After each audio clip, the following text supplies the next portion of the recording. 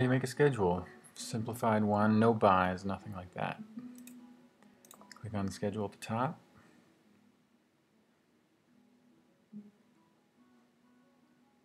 We've got a uh, the button here, new schedule. Uh, I found the only way to really get it done is pairing date, time, and field. Brings you to the screen, schedule information, schedule name, we can name it uh, 8U Games Fall 2018. Then you have to select what program you're going to be pulling the team from. The activity type is automatically populated, division, we're doing 8U. And you have to hit this, this always takes me a second to remember. Um, if you don't hit this, it won't let you go to the next page. Division, schedule type, games. Um, I like to be able to control game notification reminders and such. Uh, so I turn that off.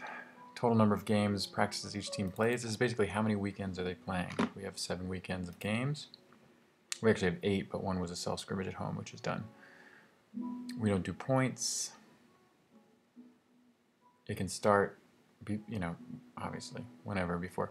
And then what time? So since we have Saturday games, unselect all the other days turn this to the time that we start, which is 10 a.m.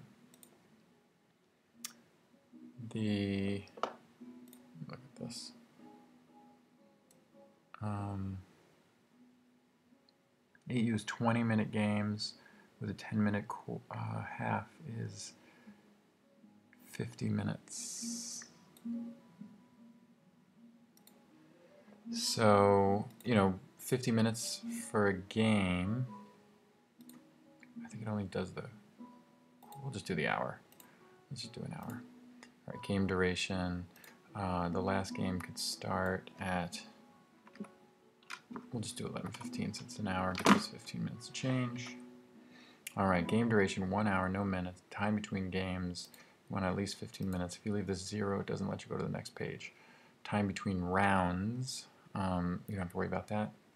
Max number of game teams can play per day. Well, you can always change that, but typically we can only really move it to, um,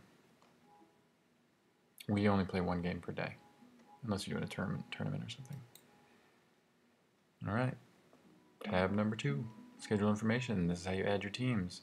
One, two, three, four teams is an even number, so we don't need to have byes. Typically, if there's a, if you're going to do byes, I say, you know, right, bye as a team, add external teams, and you can add that team. Or if we're playing, say, an interregional play like Saugerties, sometimes we play, um, you can add them here and add the team, and then it's a pretend team here, and you don't have to have all the information assigned. And they don't exist anywhere else except on the schedule. But we don't have that. Okay, here's the fields we have. Um, Olive, Shandaken, Woodstock, it's important to allocate your teams, as in um, make, a, make give them a home field. So I'm going to go to Olive. I'm going to go to Olive 8U1 field. All right, get rid of last year's team, select team. Oh, it's not even in there we're going to go to the 8U, and since we're in Olive, Olive United add team, save. Alright, so now that's Olive's home field. Then we go to Shandaken and do the same. Shandaken, 8U, edit home teams. Shandaken burn no longer. Yeah, see, once you do this once, it auto-populates. Shandaken burn. Now, even though it said Shandaken burn 8U here, it won't, it's the one from last season, so you have to eliminate it and put in the new one. Otherwise, the players on that team won't get the emails or be able to see their schedule. All right, Woodstock. Woodstock had a lot because they had the Jamboree last year. Woodstock 8U, first field. What's that? Oops. Impact and Thunder. save. Okay, home field done. Save and continue. Oh, you know what I want to show you? Back on tab number three, manage locations and fields. Blackout dates are important.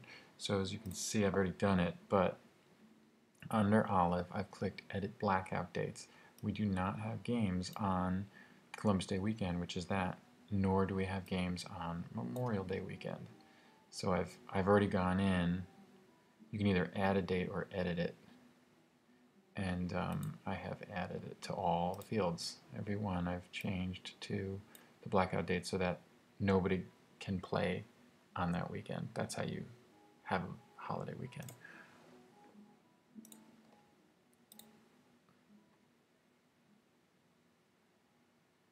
Okay, now you have to actually add the fields. I don't really understand this, why this happens, because, well, anyway.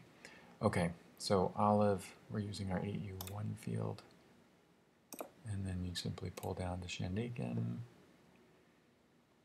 uh, 8U Shandaken 1, and Woodstock.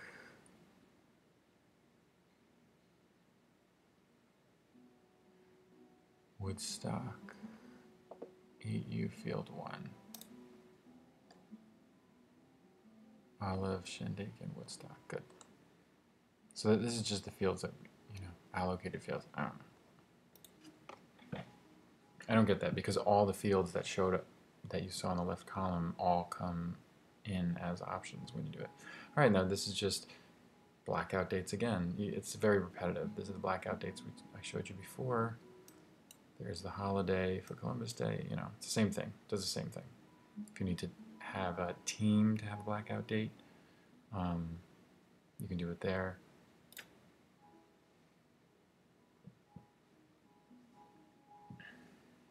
Okay, so this is just a review of everything. Shows you your fields, shows you what you selected in the first screen. It shows you that you've selected Saturday. You can't change anything in the screen, it's just for review and it shows you all the blackout dates. Yeah. All right, so here's the schedule. That's that. Pretty cool, huh? So everything's done. It does the math. It makes it so everybody has played the same amount, or at least as close to the same amount, home games as away, and played each other equally. Um, you've done it well, you'd be able to hit this. Now, if there were conflicts, it would bounce you back there and give you exclamation points. But we passed, so now you're on the schedule preview. This is right before you post it. It's exactly what you just saw, but you can't edit from here. The nice thing is to go to the audit report. Audit report tells you exactly how many games and where and who against each team plays with. All right, so it gives you this spreadsheet here.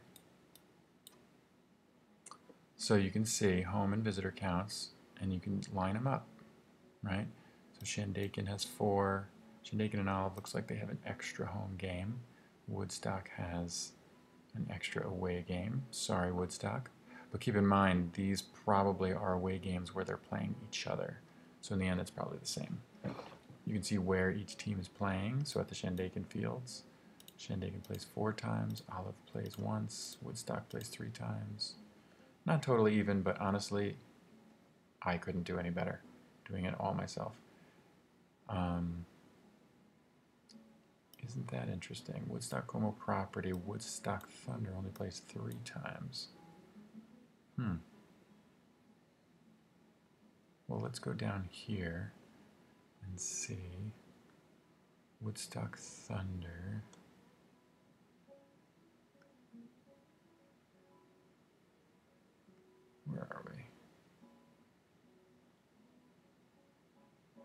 Woodstock then only playing three games at home?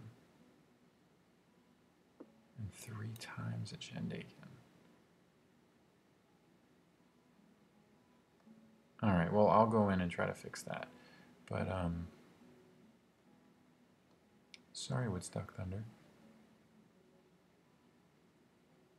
I'm not sure why I did that. I guess to equal this out. Oh, you know, because Shandaken.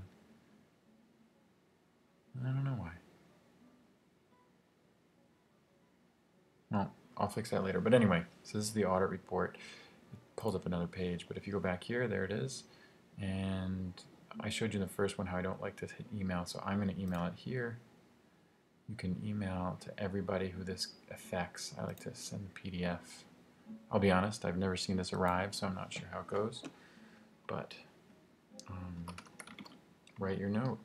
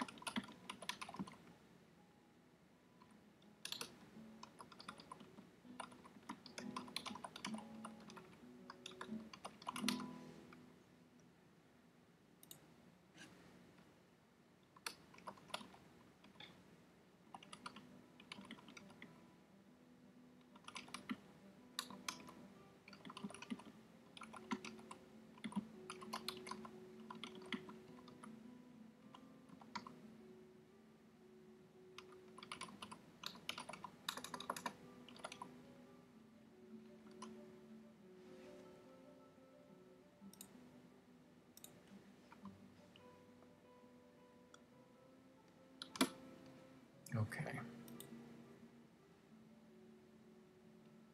And it's supposedly going to send it, but I'll be honest, I haven't seen it yet. I just found that one, but I'm going to post it.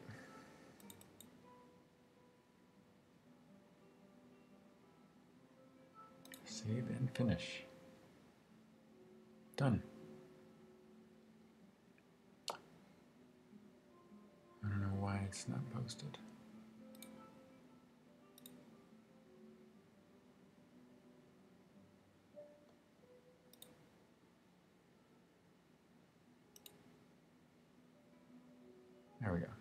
They should all say unpost here because they are actually posted. And that's that. That's how you make a schedule.